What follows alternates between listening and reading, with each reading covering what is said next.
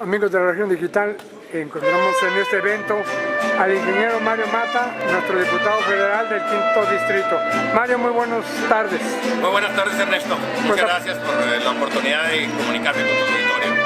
Aprovechando que estás en este evento y sabemos que sigues tú todavía en toda la lucha que estás haciendo sobre lo de las presas, sobre la extracción de agua. ¿Cómo va, Mario? ¿Cómo va ese asunto? Mira, eh, ahorita estamos en un momento pues de espera. Estamos esperando la reunión de los usuarios con Conagua. Me gustaría aclarar varias cosas. ¿eh? En ningún momento yo he intervenido en la decisión de los usuarios o de Conagua de reunirse. Yo soy muy respetuoso de los procedimientos.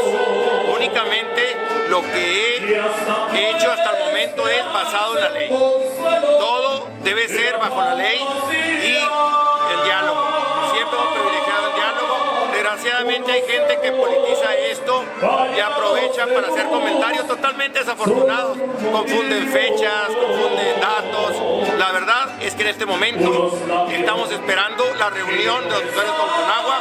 Hubo una reunión de nuestro señor gobernador con la directora de Conagua, donde se dejó claro cuál es el presupuesto en este año 2020, pero que no tiene absolutamente nada que ver con el problema que tenemos con la falta de agua para el pago de Estados Unidos, con el cual tenemos que cumplir, pero al mismo tiempo debemos de evitar que se utilice para ello el agua de las presas.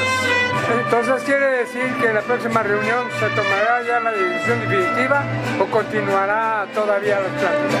Bueno, yo creo que una eh, solución definitiva tendrá que ser durante todo el año, porque hasta octubre del 2020 se cumple el plazo para pagar a Estados Unidos este quinquenio.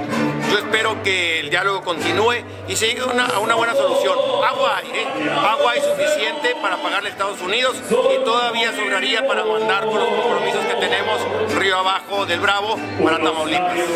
Pues agradecemos nuevamente tu información, aprovechando, como dije, este evento. Sabemos que gracias, Mario. Muchas gracias.